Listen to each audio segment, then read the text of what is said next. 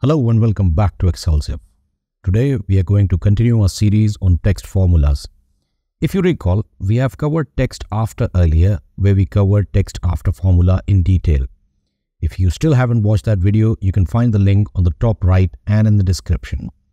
Since we went into depth in our text after video and both of these functions are nearly similar, barring their purpose and result, we are going to keep this one brief. That is another reason for you to watch our video on text after if you haven't already. So without any more delay, let's get on with today's video. Just like text after, text before formula helps you extract text from a given string. If you have been working with Excel for long, you may be aware of the left, right and mid functions, which when used with search or find functions, they help to extract desired text after determining the position of the delimiter, which work pretty similar to text before and text after, as in the manner that the left, right and mid functions extract text from the left, right and middle respectively, and text before and text after extract text before and after a delimiter respectively. Let me quickly give you an example.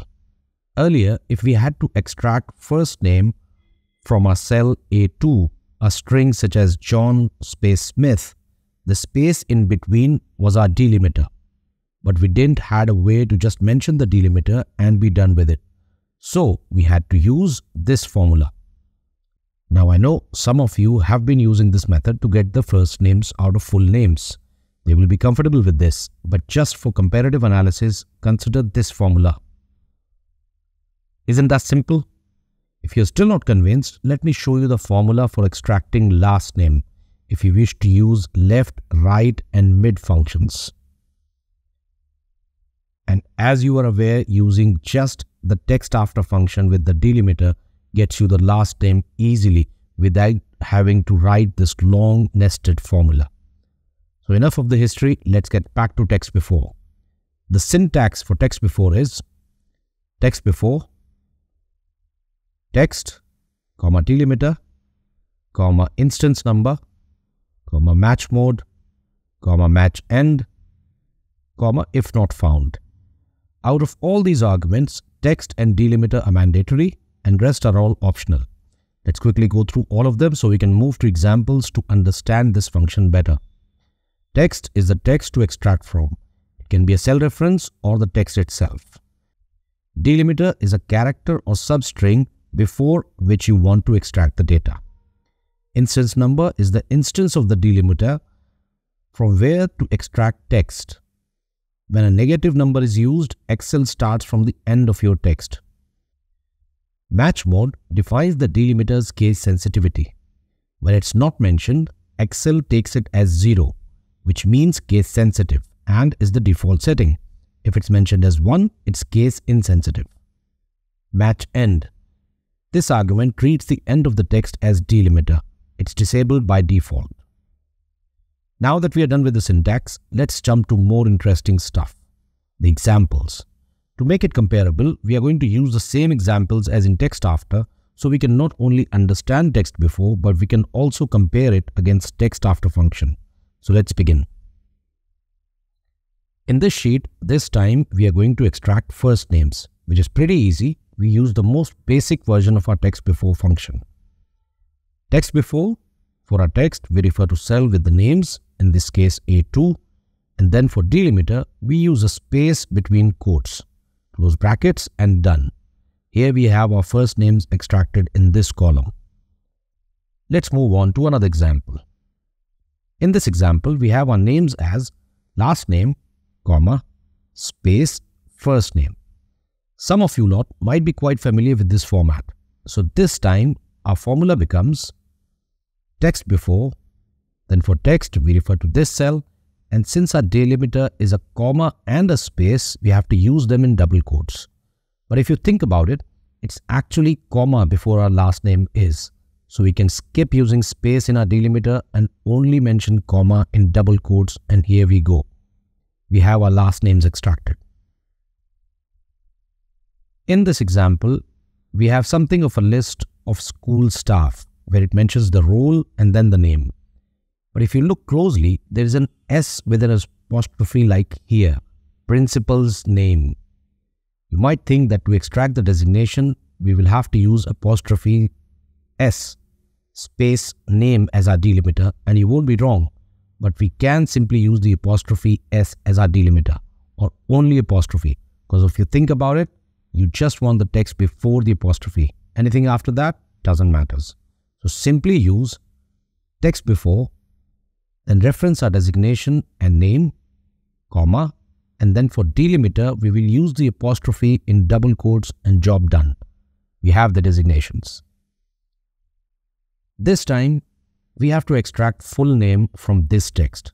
As you can see, we have the last name, comma, first name, comma, age, comma, role. If we simply use the text before formula like we have done in the past examples, let's see what happens. So we simply use a standard formula, text before, our text is this cell here, and then we use comma and space as our delimiter, and we just get the last name. If only there was a way to modify our formula to get the text not from this comma, but this one. There is. Remember the instance number argument of text before formula? We can get the full name using that. Let me show you how. We are going to use text before, reference our cell here as text, then use our delimiter which is a comma and a space in double quotes and when we get to the instance number argument, we want full name, we count from back how many delimiters are used and here we have 2. So for instance number argument, we are going to use minus 2. Minus because we are counting from the back.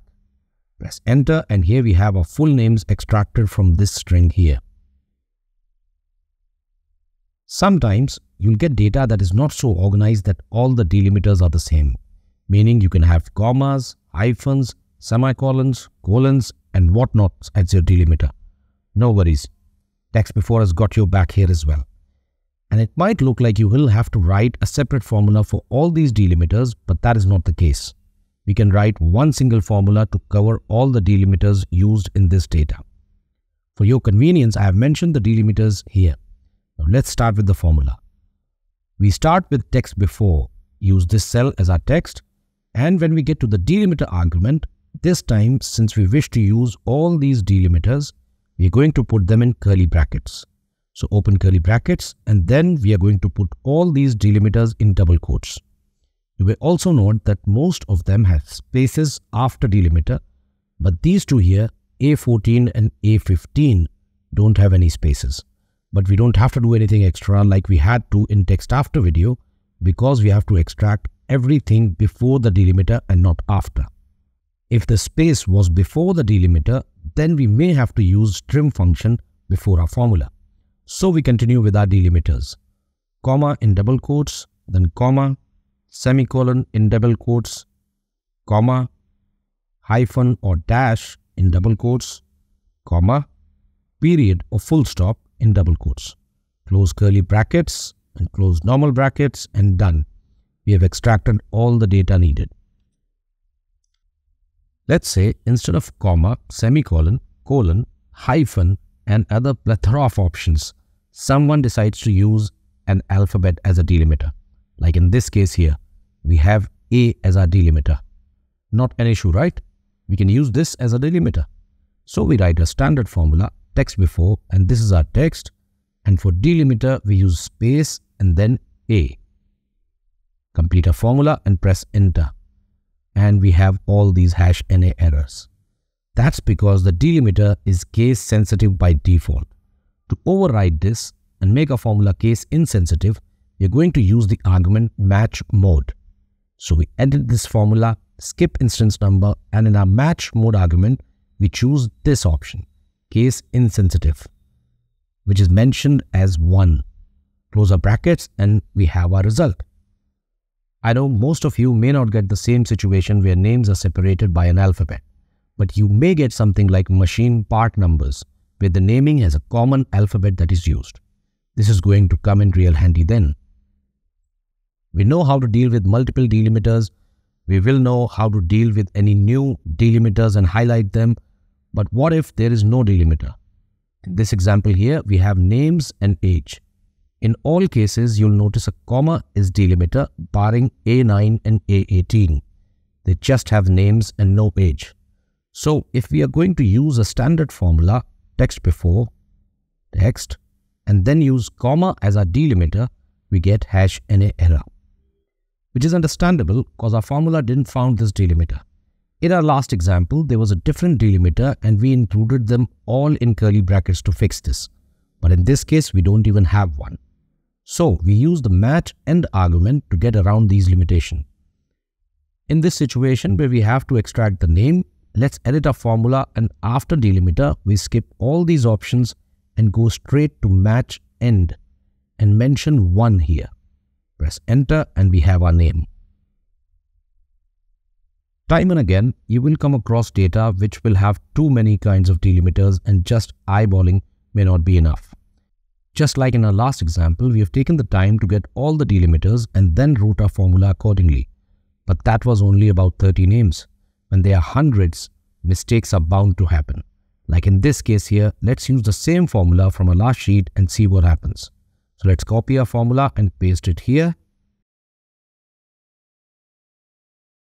and we have hash NA error in these last two. Why? Because they have delimiters different than what we had accounted for earlier. From here on, you have two options. Either you can add these two delimiters to your formula or you can highlight them using the if not argument of our text before formula. We make a small adjustment to our formula. After the delimiters, we skip the instance number, match mode and match end arguments and when we get to the if not found argument, we mention let's say new delimiter in double quotes and complete our formula. Now we get rid of that pesky hash NA error. With this, we come to the end of our video for the day. See you in our next video on Friday with some other function or some other problem solving tutorial. We still have text join and text split in this series. I hope you found this video helpful and you are going to like, share and subscribe. If you don't, feel free to leave a comment about your feedback. See you in the next one, hopefully. Until then, happy spreadsheeting.